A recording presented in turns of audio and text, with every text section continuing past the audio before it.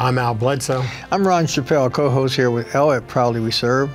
Our guest for this show is Brian Rea from Indiana Workforce Development. So on average, we'll get around 150 veterans. Um, one of the things that's, uh, you know, it could be our fault, we don't publicize. Watch our program on WETV, Channel 20, 8 p.m. Monday evening.